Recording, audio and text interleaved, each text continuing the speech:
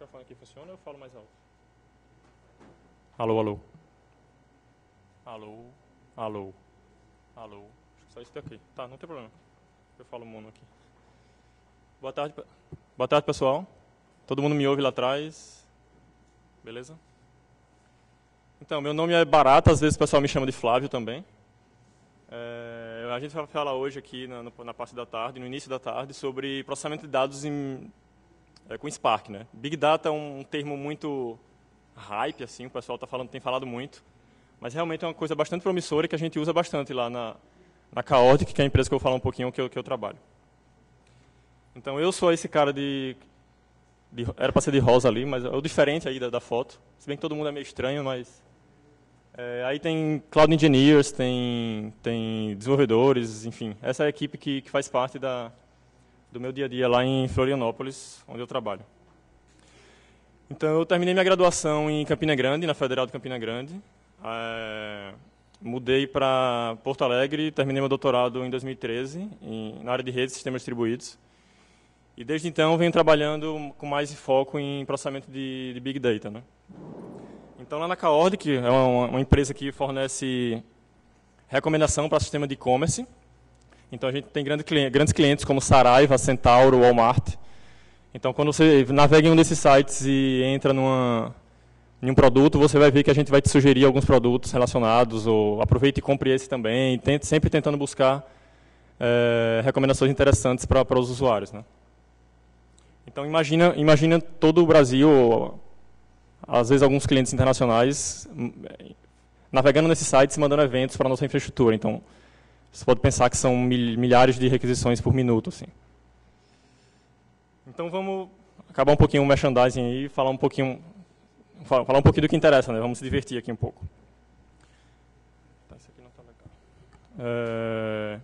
Então, a infraestrutura que a gente, que a gente vai falar aqui, né, no caso que é o framework da Apache, chamado Spark, ele é dividido em dois grandes principais componentes. Assim, ele tem um, um driver, que é quem controla, a, quem gerencia a execução do, do, seu processo, e você tem executores, que aqui está tá diagramado aqui embaixo como unidades de processamento. Né? Então, vamos entender esses executores como sendo, por exemplo, máquinas no, no meu cluster com dezenas, centenas ou milhares de máquinas.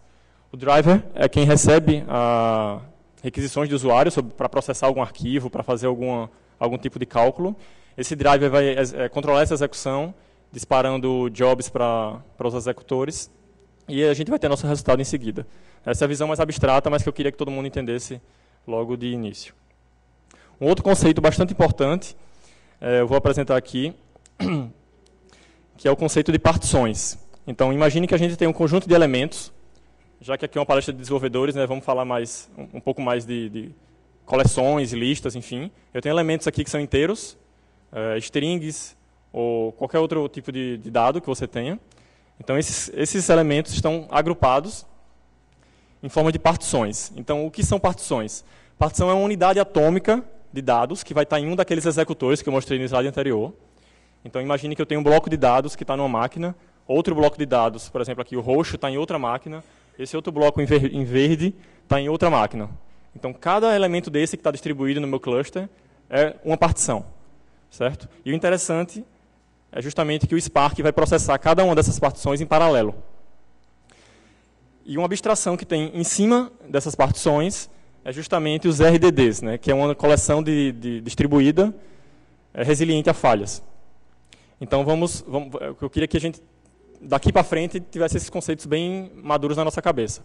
Então a gente tem uma coleção distribuída que é chamada de RDD. Tá? Ela é composta por partições que estão distribuídas, de fato, no cluster. E essas partições contêm dados, que são dados que a gente vai processar. Lá, por exemplo, na Caord, que podem ser dados de eventos de navegação, de compra, enfim. São dados que estão em arquivos relativamente grandes, espalhados no meu cluster. Então, quando eu falar aqui de RDD, vamos entender como, como uma estrutura de dados distribuída, certo? Então, aqui, para ilustrar, nós temos as partições, é, que são todos esses quadradinhos aqui, coloridos. E os RDDs, como eu falei, é um conjunto dessas partições. Né? Pode estar parte em um executor, parte em outro executor, mas o que interessa é que a gente tem uma abstração, que é essa coleção de dados é, espalhada em três executores aqui no caso dessa figura. Então, como é que funciona o fluxo de execução? A gente tem esse RDD, que eu vou mostrar mais adiante como é que a gente cria esses, esses elementos, mas como é que funciona o fluxo? Então, imagine que eu tenho fonte de dados, é, que pode vir, por exemplo, do HDFS, no caso do Hadoop, do HBase, por exemplo, para quem é mais familiar. Pode vir do Cassandra, pode vir do, do Elasticsearch, do MySQL, do Postgre, enfim, de bancos de dados que implementam o JDBC para conectividade. Então, a gente vai criar um RDD a partir dessas fontes de dados. Esses RDDs eles vão ser manipulados através de transformações, aplicando funções a esses dados. Então, se eu tenho um conjunto de dados e eu quero transformar esse dado em outro dado, quero filtrar alguns dados, agrupar eles de alguma, de alguma forma específica, eu posso aplicar funções nesses dados e isso vai me retornar um novo RDD, né? uma nova estrutura de dados. Cada RDD ele é imutável. Então, eu aplico uma função de transformação eu vou ter um novo RDD, certo? que são apontadores para essas partições modificadas. E a saída pode ser algum sistema, por exemplo, compatível com a suíte Hadoop, HDFS, por exemplo. Pode ser a Amazon S3, que é um sistema de armazenamento na nuvem da Amazon. É, pode ser, então, aquela engrenagem ali, eu botei para representar uma forma mais genérica é, para processamento, por exemplo. Você quer fazer um post em alguma URL, por exemplo. Você fica flexível, né? Você vai varrer os seus dados, enviando, executando uma ação sobre esses dados, enviar e-mails ou enfim. Então a gente tem entrada, transformações e saídas ou ações. Né? Aqui um exemplo um pouco mais baixo nível. É, aquela linha mais pontilhada ali eu tenho os RDDs, que como eu já falei, é composto de partições. Então ali cada um desses aqui tem três partições, que estão marcados aqui em laranja. Eu vou aplicar uma função, por exemplo, de agrupamento. Eu quero agrupar meus dados por alguma, alguma função de hash, por, por alguma, algum critério que eu defino. Isso vai me gerar um novo RDD, que é a segunda coluna aqui. Eu posso depois aplicar uma função de mapeamento, que nada mais é do que uma aplicação de uma função. Então, se eu tenho elementos inteiros, por exemplo, eu posso pegar esses inteiros e multiplicar por 2. Então, eu estou mapeando um elemento em outro através da função de dobrar o elemento. Então, eu vou ter um novo RDD. E uma filtragem, vou ter um novo RDD. Então, você vai fazer esse encadeamento para processar os seus dados é, da maneira que você quiser, dependendo do seu objetivo, no caso. Né? Então, como é que funciona mais especificamente essas transformações? Imagine que aqui eu tenho uma coleção de, de elementos, tá? não são partições, são elementos, são inteiros, por exemplo.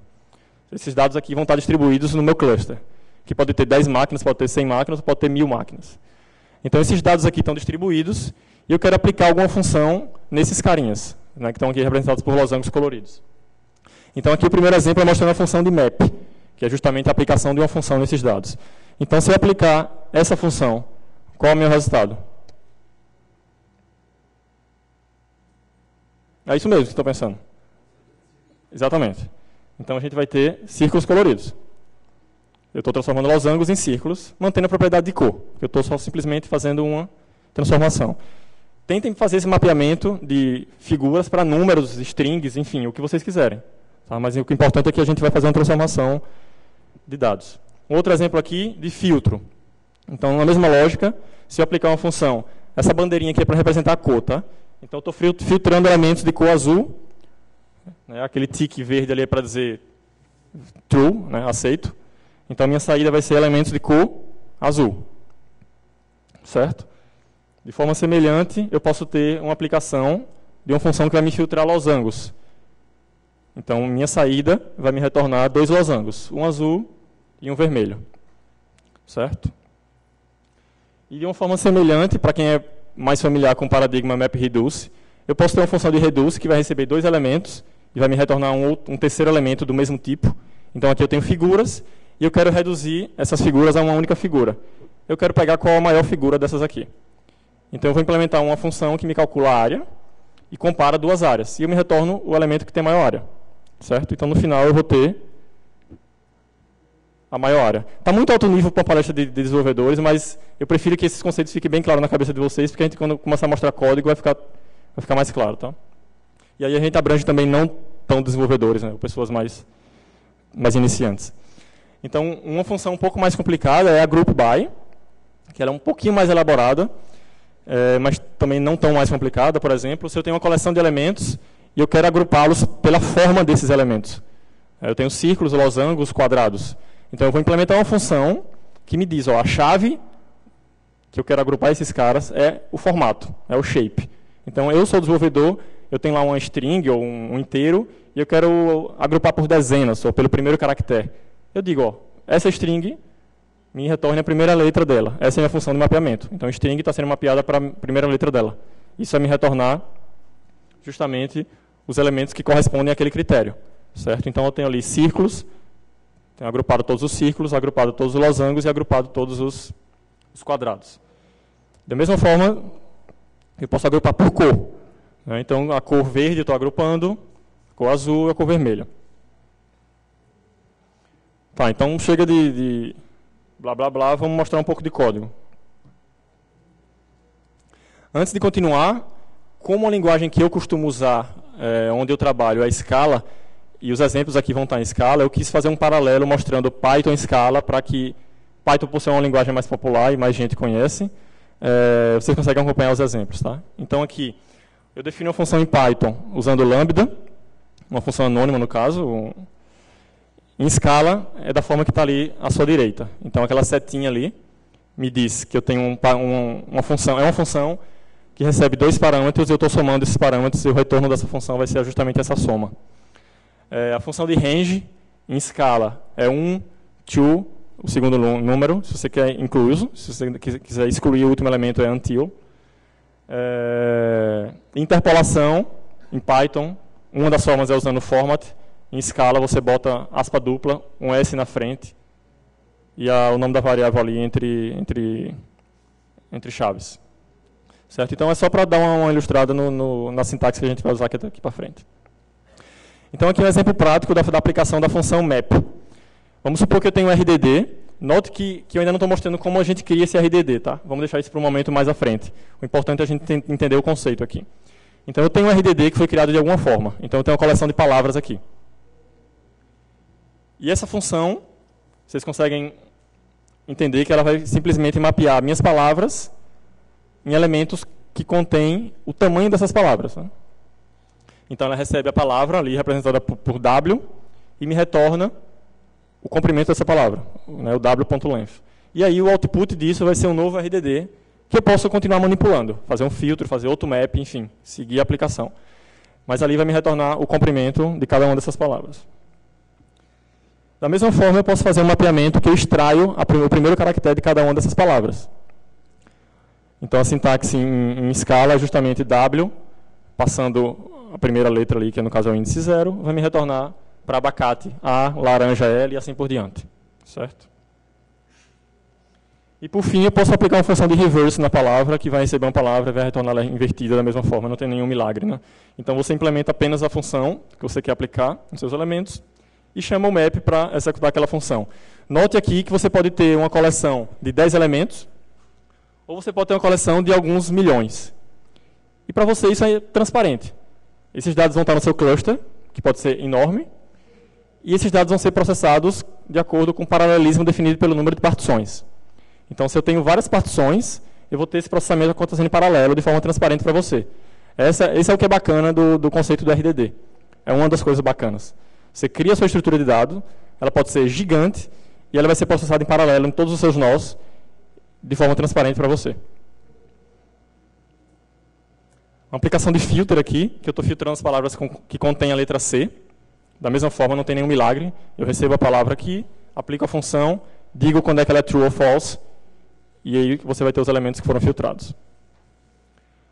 Filtrar as palavras com, letra, com quatro letras, eu fixo ali length igual a 4, vai me retornar casa e azul. E um reduce, que eu vou aplicar no meu RDD, eu quero somar qual é o tamanho de todas as palavras, né? quantas letras eu tenho. Eu tenho aqui esse RDD de números, e eu vou aplicar a função reduce, na, passando a função que é recebe dois elementos, e eu simplesmente somo. Então, note que no reduce, ele recebe uma função que recebe dois elementos, e o output é um elemento do mesmo tipo. Então, eu posso passar aqui, ao invés do, da soma, uma função que o Java já me dá, ou escala, math.max. Então, eu quero reduzir meus elementos é, aplicando a função de max. Então, o que é que eu vou ter? O maior elemento daquela lista. Isso pode ser, mais uma vez, frisando, 10 elementos, mil elementos, ou você pode pegar o máximo de um milhão de elementos em alguns segundos. E a outra função, que é mais complicadinha um pouco, é, é do agrupamento. E como eu já falei no, no slide anterior, eu estou agrupando aqui pelo primeiro caractere daquela palavra. Então, para essas palavras aqui à esquerda, eu estou recebendo essa palavra e estou aplicando a função para me extrair qual é a chave daquela palavra, né? ou seja, onde ela vai ser mapeada, como ela vai ser agrupada. Então está ali o primeiro caractere, laranja, está sendo agrupada pelo L, abacate azul pelo A, e assim por diante. Certo? Estou falando muito rápido, está tá tranquilo para entender, está tá de boa, né? Qualquer coisa eu acho melhor interromperem agora, se estiver bloqueando o entendimento, porque aí a gente consegue fazer que todo mundo acompanhe, tá? É, e por fim, um exemplo um pouco mais elaborado com o flat map e o reduce by key. Eu quero pegar todos esses elementos e contar quantas letras tem, é, qual a frequência de letras nessas palavras. Então vamos lá, linha, linha, linha com calma. Eu vou aplicar uma função que eu chamo aqui de flat map, que é a mesma função do map, só que ao invés de mapear um elemento em um elemento, eu posso mapear um elemento em zero ou mais elementos. Então, por exemplo, eu recebo a palavra, e retorno o iterador daquela palavra, ou seja, os caracteres dela. Então, eu estou mapeando uma palavra em seus caracteres. Então, ao invés de ter um elemento, eu vou ter vários, que são as letras. Ok? Na, na terceira linha ali, eu vou aplicar o map, que eu recebo. Note que na, na função map, agora não tenho mais palavras, tá? Eu tenho caracteres. Porque foi transformado palavras em caracteres naquela função em cima ali do flat map. Então, eu estou mapeando cada caractere em, um caractere, em uma tupla, caractere número 1. Certo? Então imagine que eu tenho vários dados, várias letras, e cada letra eu tenho letra número 1, letra X número 1, letra Y número 1. Certo? Depois eu vou simplesmente aplicar uma redução nesses, nesses elementos pela chave. Quem é a minha chave? É o primeiro elemento da tupla, então é o caractere. Então estou agrupando por caractere, e a função que vai agrupar é a soma. Eu tenho dois valores, V1 e V2, no caso, 1 e 1 retorna 2. 2, aí eu vou reduzir com outro cara, 1, um, 3. E assim sucessivamente, até que eu tenha a soma de todos os caracteres. E o output está aqui na direita. Ficou muito complicado? Não, né? Então aqui, é, falei um pouco sobre a operação, de como é que funciona. Vamos entender agora como é que a gente cria esses dados, né? Porque não adianta nada a gente conseguir processar muita coisa se a gente não tem de onde ler os dados. Então, por exemplo, é, você vai ter, isso aqui um pouco mais baixo nível, tá? você vai ter um contexto que você passa as configurações, por exemplo, é, endereço do seu cluster, do seu, do seu banco de dados, nível de paralelismo que você quer, diversas configurações, mas não vamos entrar em detalhes aqui nessa, nessa apresentação. É, uma das formas de você criar é, RDDs é você paralelizando coleções. Então, aqui nesse exemplo, eu crio tem um milhão de elementos ali, e aí eu vou pegar aquele um milhão de elementos e vou paralelizar. Eu simplesmente vou lá e invoco no meu contexto do Spark uma chamada parallelize passando na minha coleção. Isso vai fazer com que ele pegue todos esses elementos e distribua nos meu NNOS do meu cluster. Então aqui eu vou ter um RDD, que é uma sequência numérica. Ok? É uma das formas de criar é, elementos, de criar RDDs. Uma outra forma é você quer ler do, do HDFS, ler do, do, S3 da Amazon, ler de alguma fonte de dados. Você, você simplesmente faz sc.txtfile, passando aqui o caminho do arquivo. Isso ele vai pegar esse arquivo e vai criar um RDD em cima desses dados. E aí você pode fazer o processamento, como eu já mostrei no exemplo anterior. Então, vamos supor que você tem um, vários, um, vários arquivos com, sei lá, o conteúdo da, da Bíblia, o conteúdo da, da Constituição Brasileira, e quer contar quantas palavras tem lá dentro. Você cria o seu RDD apontando para aquele, aquele, aqueles arquivos que estão, que existem, e aí você faz aquele esquema que eu falei, né? Aplica map, aplica funções para transformar esses dados e você conseguir calcular o que você quer. É, o Cassandra, que é um banco de dados no SQL, é bastante famoso, é, também permite que você leia dados dessa, das tabelas desse, desse banco através da criação do RDD. Então, você passa qual é o seu key space e sua tabela, você consegue iterar nesses dados e fazer processamento em cima deles. E da mesma forma com o Elasticsearch, que é uma, é uma ferramenta para busca, bastante poderosa, derivada do Lucene. Todos aqui são open source, tá? É, e você pode criar um RDD que vai simplesmente aplicar uma query na sua, no seu cluster e você vai ter os resultados para você iterar sobre eles e para fazer o processamento.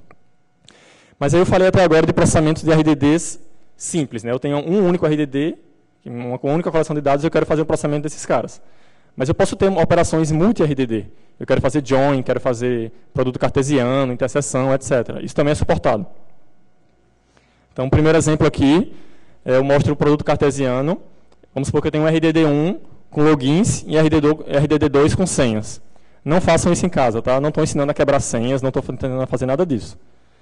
É, eu estou mostrando apenas um, exemplo um pouco mais prático que, da aplicação do, do, cartesiano. Então, você vai fazer uma combinação de todos os elementos do RDD1 com todos os elementos do RDD2. Então, você vai estar tá basicamente tentando todos os logins com todas as senhas. Tá? Não faça isso em casa, não diga que foi eu que ensinei. Paz e amor. Interseção, você, é mais simples, você pega um conjunto, pega outro conjunto, né, dois RDDs, aplica a interseção, tudo está feito, funciona. Tem união também, mas eu não vou para não ser repetitivo, eu não vou ficar repetindo, então, para não ser repetitivo, eu não vou ficar repetindo. É, tem união também, tem um join, que é um conceito bastante famoso em banco de dados. Então, isso aqui eu acho que vale a pena comentar. É, para toda chave aqui, que é o primeiro elemento da tupla, ele vai fazer um join com toda a chave do, do segundo RDD. Então, aqui no caso, ele vai juntar o 2 com 2, vai pegar o Azinho com Bzão, está lá a saída, o Bzinho com Bzão, está lá a saída, e o 4 o Dzinho com Dzão e vai, vai criar a saída. Então, se você tem arquivos separados, enormes, com muitos dados, e quer fazer match desses arquivos por algum campo, você simplesmente faz um join e tudo vai, vai rodar em paralelo no seu cluster, que pode ser pequeno, médio, grande, e vai funcionar. Aí a pergunta que algumas pessoas devem estar fazendo aí, que eu sei. Tá, mas por que isso é melhor do que o, Hadoop MapReduce, que todo mundo já usa há algumas, não sei se chega a décadas, mas há um bom tempo? O primeiro motivo é esse. Tá, é uma piada porque na esquerda você tem Java e na direita tem Scala, mas... É, o MapReduce você está preso ao paradigma MapReduce. É, outra coisa é que você, por ser Java, ao menos que você tenha alguma forma de, de transformar código, mas enfim, é Java, o, o Hadoop.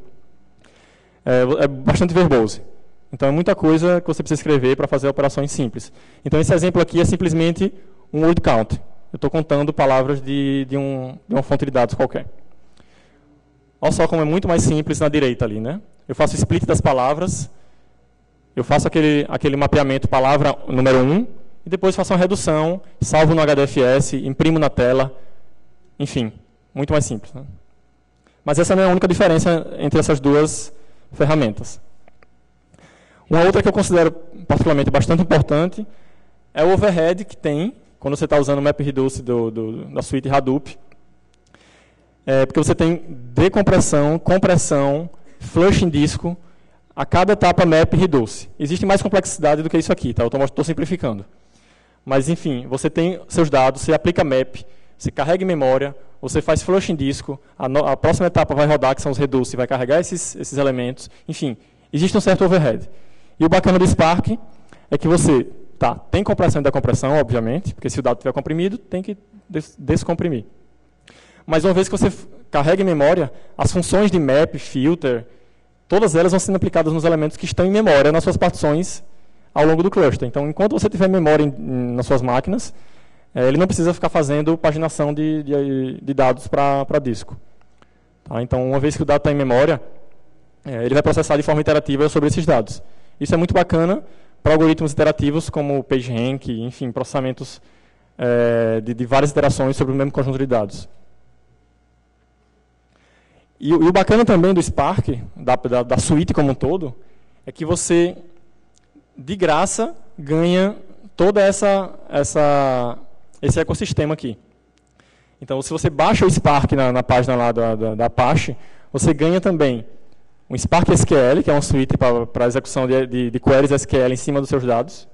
Você ganha é, formas de processar real-time seus dados com o Spark Streaming. Então, você pode ter alguma fonte de dado é, e você quer processar isso em tempo real, você consegue processar de forma bastante simples com código do, com a suite e ferramentas da própria, do próprio Spark. Além de, de, de ferramentas de, de machine learning, para fazer, para rodar seus algoritmos, enfim, fazer SVM, regressão, etc.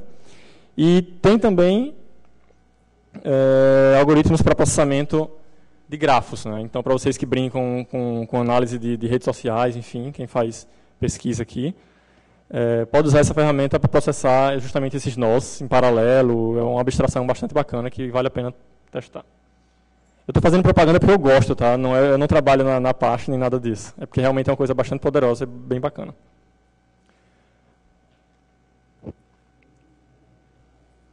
Então, um exemplo de como a gente usa Spark SQL. Olha só como, como é simples. Né?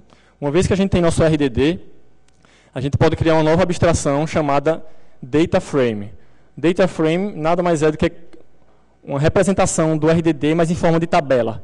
Então, olha lá que eu tenho um RDD, que apliquei um flat map, map, reduce, para contar os caracteres das palavras. ok? E a única diferença aqui é que eu converto para um data frame aqui no final. Então, tem um ponto to data frame, e eu renomeio essas colunas. Eu chamo a primeira coluna de letra a segunda coluna de frequência. Porque se eu vou processar no banco de dados, eu preciso dar nome às colunas para poder manipulá-las. Né? Então, é dessa forma que a gente faz. Simplesmente eu pego esse data frame, registro ele como uma tabela, no caso temporária, porque não existe a tabela em si, é apenas uma abstração. Eu registro a tabela e eu simplesmente executo a minha query. E vai funcionar. Posso fazer join, posso fazer count, etc. Então vai funcionar simples assim.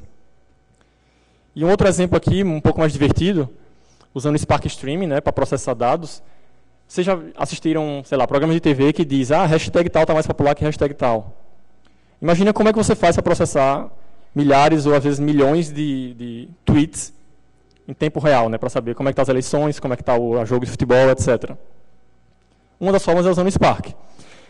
É, você cria sua sua fonte de dados do Twitter. Isso é um lib do, eu não sei se foi o Twitter que desenvolveu ou foi a Apache. Mas enfim, você cria um streaming passando qual qual a chave é, sua chave de programador do, do, Twitter que você precisa para acessar a API deles. É, e pronto, você simplesmente vai aplicar flatmap, reduce, enfim, filtros para filtrar pela, por exemplo, hashtag. Eu estou filtrando pelas palavras que começam com sustenido ali, o jogo da velha. Estou é, mapeando aquelas palavras em x e 1 para reduzir e contar essas frequências. Eu defino qual é a minha janela de processamento. Então, ali em cima, na hora que eu crio o streaming context, eu digo, ó, a minha unidade de processamento é 10 segundos. E aí, eu posso fazer o agrupamento desses dados, por exemplo, lá embaixo, em 60 segundos. Então, eu estou deslocando de 10 em 10, que é a minha unidade de, de, de processamento, e eu quero os últimos 60 segundos. Então ele vai pegar seis blocos de dados e vai processando. Então a cada batch desse, ele processa em tempo, não é real, mas é near real time. Então ele está fazendo micro batch aqui. E você consegue, depois que você tem o, o seu top count 60 aqui, você pode imprimir na tela, pode salvar, enfim. Pode fazer o que você quiser a cada execução desse batch, que no caso acontece de 10 em 10 segundos. Então, como é que a gente usa é, toda essa, essa ferramenta lá na Chaotic? Um dos casos é particionamento de dumps. Imagine que a gente tem diversos eventos é, que a gente coleta lá, né? visualização de página, compra de produtos, é, clique em vitrine, a gente faz análise desses dados. Então, são milhares, milhões de dados que a gente chega, terabytes de dados, de informações por dia. E a gente precisa organizar esses dados de alguma forma. Então, lá a gente agrupa por ano, mês, dia, em alguns casos, hora. Imagine milhões de eventos chegando e você precisando separar isso em arquivos por hora a gente usa o Spark para fazer esse tipo de processamento. Um outro exemplo é migração de dados. A gente tem, a gente tem uma base lá gigantesca de, é, sobre o Cassandra. E, a, e, com frequência, quem desenvolve sabe, o modelo de dados muda. Imagine que é, tudo bem, mudar uma tabela no, no MySQL que tem mil registros, ok. 5 mil, ok. Mas 1 milhão, 2 milhões, 5 milhões, 10 milhões é um pouco mais complicado. Então a gente roda jobs que lê do Cassandra, faz transformações é, sei lá, antes era V1, agora é V2. A data era, era ISO, agora é, enfim, qualquer outro formato. Então a gente lê do Cassandra, faz a transformação, salva no Cassandra novamente. Tudo em paralelo, de forma bastante simples. A gente tem detecção de anomalias. Imagine que a gente integra a nossa solução com as páginas dos clientes. Então, eventualmente, chegam eventos anômalos. Compras de blues aqui por 150 mil reais não é uma coisa normal. Então a gente precisa detectar esses eventos para não afetar o faturamento, enfim, diversas coisas. Então a gente tem jobs rodando usando streaming, que vai lendo esses dados que chegam para a gente e detectando algum tipo de anomalia é, com microbatches. Né? E quando a gente detecta, a gente reporta esses, essas anomalias é, numa ferramenta. É, e por fim, a gente, se você, por exemplo, ia fazer uma compra, adicionou um elemento no carrinho, depois desistiu, provavelmente em algum momento você vai receber um e-mail. Oh, você esqueceu de finalizar aquela compra. A gente que envia esse e-mail para justamente capturar esse, esse, potencial cliente. Então, esse, esse disparo de e-mail é feito justamente, a geração dos e-mails é feito justamente utilizando a infraestrutura do Spark. Quem tiver mais dúvidas de detalhes de, de, como a gente faz, até onde eu puder dizer, tá? eu, eu vou, vou, discutir bem de boa com, com vocês. Dessas soluções aqui, eh, a gente está trabalhando para abrir o código da detecção de anomalias e da migração de dados. Tá? Ainda não está aberta porque, porque, existe um, um procedimento para abrir, mas o código está sendo feito justamente pensando em como as pessoas podem utilizar fora da empresa também. No final eu vou mostrar o, um, link para o nosso blog, que vocês podem acessar o GitHub, enfim, ver já algumas soluções que a gente tem de código aberto. Só que esses exemplos não são os únicos, né? esses são os que a gente está usando atualmente. Mas existem diversos outros que podem ser é, aplicados também. Detecção de fraudes em bancárias, por exemplo, reconhecimento de faces, você processar diversas imagens em paralelo, é, execução de ETLs, detecção de terremoto. Essa do terremoto é bastante interessante, que o pessoal analisando os tweets, é, eles perceberam que as pessoas estavam postando muito it's shaking, tipo, tá tudo tremendo, coisas do tipo. Então as pessoas primeiro tweetam antes de ligar para pedir ajuda, né? Então a, a, ferramenta dos caras conseguiu detectar que, que existe alguma coisa estranha em uma determinada região. É, tinha gente dizendo que a Terra estava tremendo, né? É, como eu já falei, PageRank é um, um bom exemplo. Processamento de genoma, tem, a Intel está tá financiando um projeto bastante interessante para processamento de genoma. Otimização de logísticas, algoritmo de recomendação, análise de logs. Você quer, por exemplo, contar quantos erros está acontecendo nos seus milhares de logs que chegam por hora. Então, você aponta para esse arquivo, distribui ele no seu cluster, faz um, um grep, né, no caso, um filtro por quem contém erro, enfim, conta e etc. Análise de tweets, né, de forma mais genérica, etc. Né, o céu é o limite aqui, sua imaginação vai vai limitar aqui o que é que você pode fazer. E agora a gente pode fazer uma demozinha. Eu acho que sobrou. Um... Temos aqui 15 minutos. Eu posso mostrar aqui a ferramenta para vocês verem que eu não estou mentindo, funciona mesmo. Infelizmente eu não tenho uma infraestrutura muito poderosa, então ele vai rodar tudo na minha máquina. Mas isso, para sair da minha máquina para um cluster valendo, é, o trabalho é você configurar o cluster e aí você, no arquivo de configuração, aponta para esse cluster, né, para o driver desse, desse cluster e tudo vai funcionar normalmente.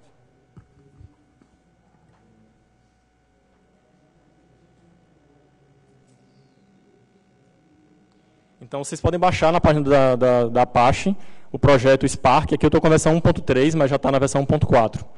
Tá? Descompacta na pasta de vocês lá, tem versão para Linux, tem para Mac, ou, não sei se tem para Windows, mas talvez tenha, enfim. É, vocês abrem aqui o Spark Shell, que é um, um prompt interativo para vocês digitarem os comandos, enfim. Aqui quando eu der Enter, ele vai criar um executor, vários executores, vai criar um driver e eu vou começar a interagir com ele. Tá?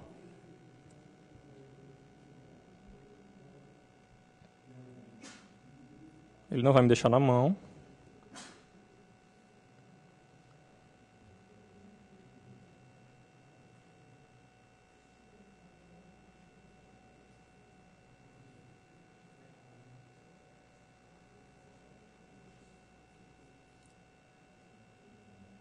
Então, como eu falei aqui, eu posso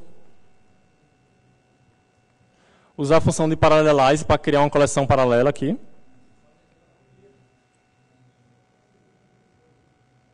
Tá conseguindo, todo mundo consegue ver?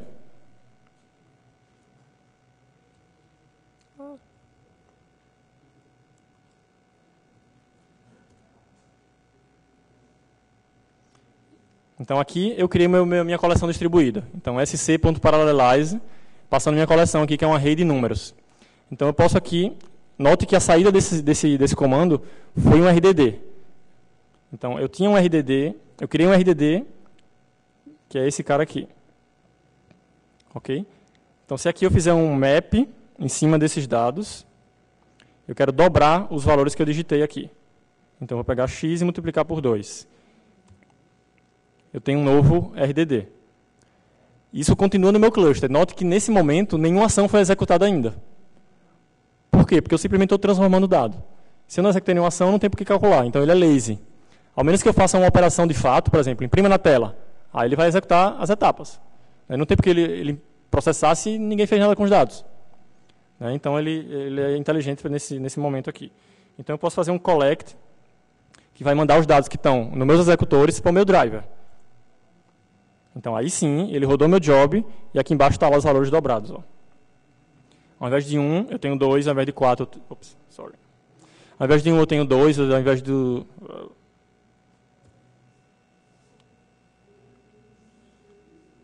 Deixa eu fazer com que todo mundo consiga enxergar, peraí.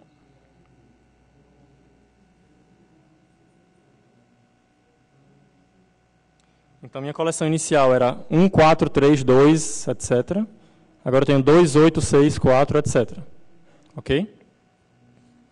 E aqui eu posso, posso ficar brincando, eu posso fazer filtro, eu quero só os pares, né? Se bem que eu multipliquei por 2, todos vão ser pares, mas... É, eu quero filtrar só os pares, então eu tenho o elemento, eu quero retornar só que o resto for 2. E aí eu tenho que fazer o collect.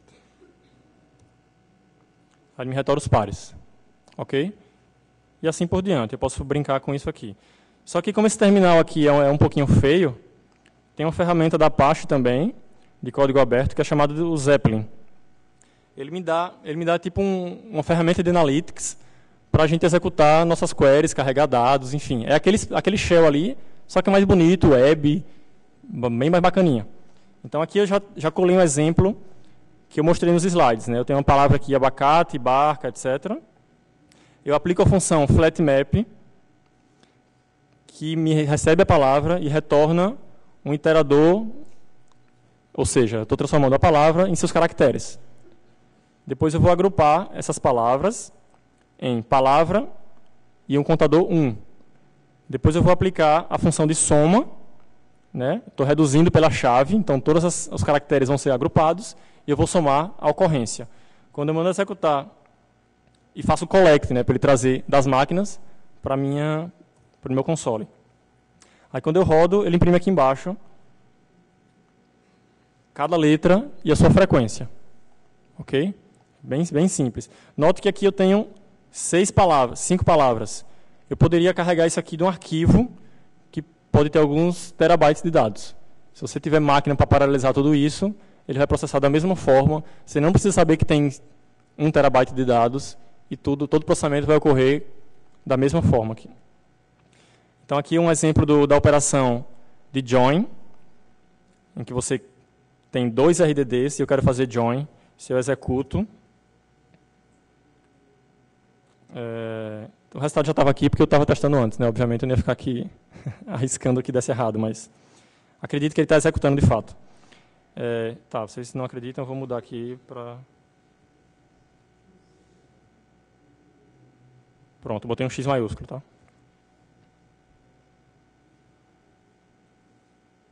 Tá, não estou mentindo. É... E por fim aqui um exemplo bastante legal, poderoso, que é aquele usando o Spark SQL. Então imagine que você tem uma coleção de palavras. Para não criar um novo exemplo, vamos usar o mesmo exemplo aqui, que conta o número de, de caractere. Aqui eu pego o caractere e converto para um string, porque o Spark não, não sabe mapear o tipo char, então para ele eu tenho que dar um string para que ele funcione. É, e depois converto para um data frame, renomeio para letra e frequência, registro isso com uma tabela de nome tabela. Executou, está lá em memória, a tabela está criada criada, né? é uma abstração. E aqui eu posso fazer queries em cima dessa tabela. Então, tabela, roda um select aqui, ele vai me trazer cada letra e sua frequência. E olha como é bonito. Ah, você pode analisar seus dados, fazer, enfim, muita coisa bacana com isso aqui. Isso aqui é uma query simples, tá? mas você pode contar é, o número de vezes que um produto foi visto e comprado, você vai fazer join de, de, de eventos, enfim. É bastante poderoso aqui. Então, se eu quiser fazer um select aqui apenas nas frequências... Então, é bem SQL-like mesmo, assim, é um subset do SQL, na verdade. Então, aqui está as frequências. Então, a sintaxe aqui que todo mundo conhece, é bastante intuitivo. E para dar um exemplo de, sobre paralelismo em si, deixa eu ver se eu consigo aumentar isso aqui para cá.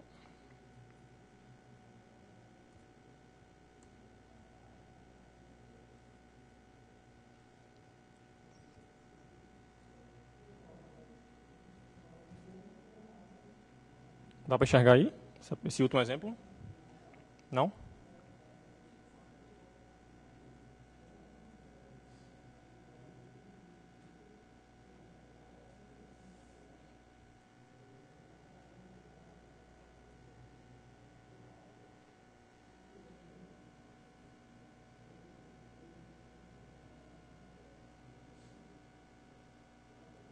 E agora?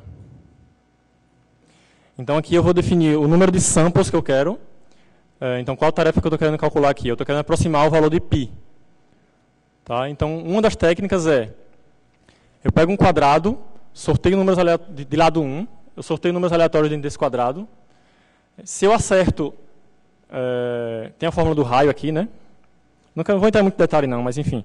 Eu tenho o cálculo do, do raio, vejo se ele está dentro do, do que corresponde a um círculo, faço isso para um quadrante e multiplico por 4. Então, aqui ele se executado isso aqui, muitas vezes o resultado tende a se aproximar a π.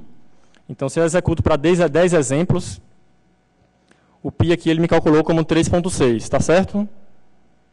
Não, está errado, né? Então, eu posso aumentar aqui para 10. Não melhorou muito, não.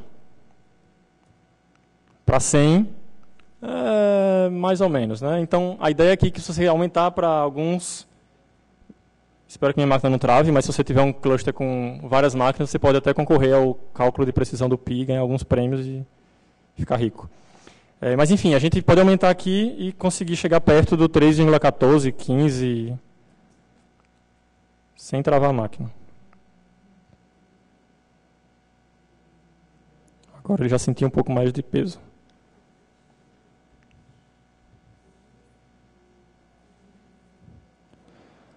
Tá, então, aproveitando o momento de silêncio aí, se vocês gostaram, acharam interessante, baixe o aplicativo, volte lá, dê um like é, na palestra.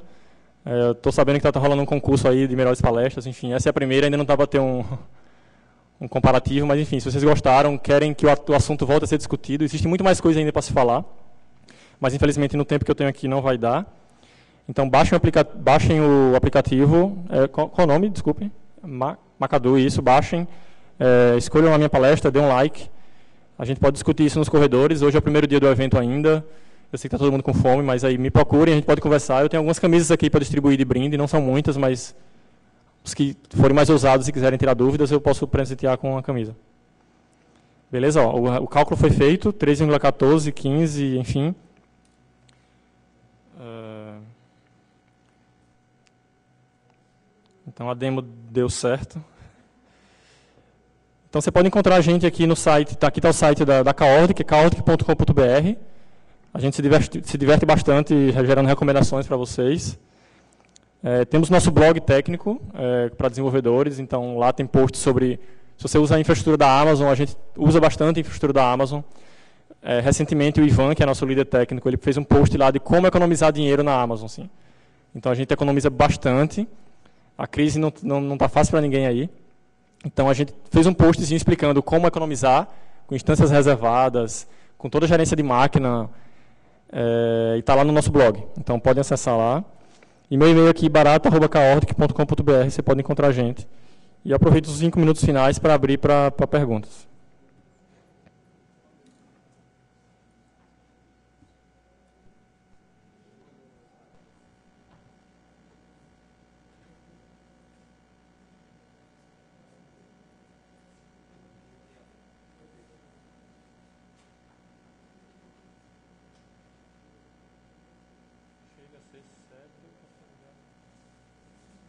que é CEP?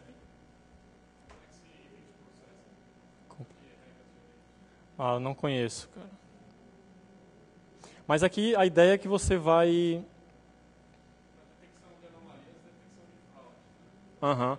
É, então, a plataforma que, que, que o Spark fornece, ele permite que você faça os processamentos e rode os algoritmos de forma distribuída em microbatches. Você pode aplicar o algoritmo que você quiser. Se você tem uma lib lá que vai calcular desvio padrão, ver quantos eventos estão dentro do desvio, fora do desvio, quantas vezes fora do desvio, enfim. Isso aí, ele não tem pronto. Ele, ali são exemplos de caso de uso que pessoas usam. Tá? Então, não, não sei se respondi a sua pergunta.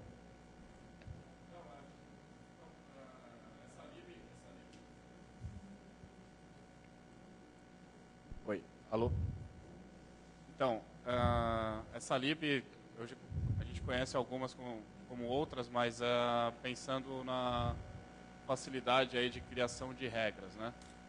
Uh, todas, todas essas regras aí, é, para cada função nova, tem, tem que ter, exige, exige um nível de programação e qual que é a complexidade disso para um usuário, né? Então, uh, a ideia seria possibilitar que um usuário consiga criar as regras de acordo com os eventos que ele domina. Uhum. É, se você tem a sua, a sua amostragem, você vai definir o, qual a informação mínima que eu preciso para assumir que aquele, que aquele evento é uma anomalia. Enfim, se é uma compra que foge a três desvios da, das últimas compras do, de uma pessoa no cartão de crédito. Você precisa implementar isso de forma modularizada e vai simplesmente importar sua lib no Spark e no job que vai processar aquele conjunto de eventos, você vai chamar sua, sua lib. Você, você chegou a fazer algum teste com correlação de Não, a gente está usando lá para detecção, é, por exemplo, o preço de, de, produtos. Se o preço foi vendido no, no, no, histórico nos últimos três dias, cinco dias, isso é configurável, foi vendido a um preço X e ele está três, quatro vezes X, a gente vai gerar um alerta para isso. Tá? Não é fraude, é detecção de anomalia, nesse caso que eu estou falando. Para fraude, fraude, por exemplo, você vê um, eu não, nunca usei para fraude, eu, eu, li que, tão, que, que existem bancos usando para detecção de fraudes. Mas aí, o, o, que, o, que eu, queria deixar claro é que o algoritmo de detecção de fraude é do programador, não é da plataforma de processamento distribuído. Você simplesmente vai acoplar uma coisa a outra.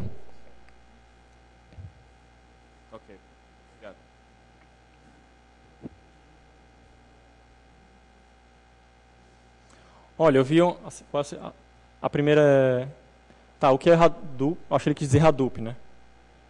É, Hadoop é uma suíte com diversas ferramentas de processamento, armazenamento, é uma coisa bem, bem comum e popular na parte de, de, de Big Data, processamento distribuído. Tá? Ele é composto por HDFS, HBase, que é uma base de dados, enfim, é tudo para processamento distribuído. Já me disseram que o tempo está esgotado, então eu vou tentar correr aqui. O MLlib foi comparado com, com, aquele, com o que eu vi, e ele teve desempenho 10 vezes, se não me engano, melhor. Então, ele já foi comparado. Se você procurar no Google, você vai encontrar artigos comparando justamente o MLlib com o Waka.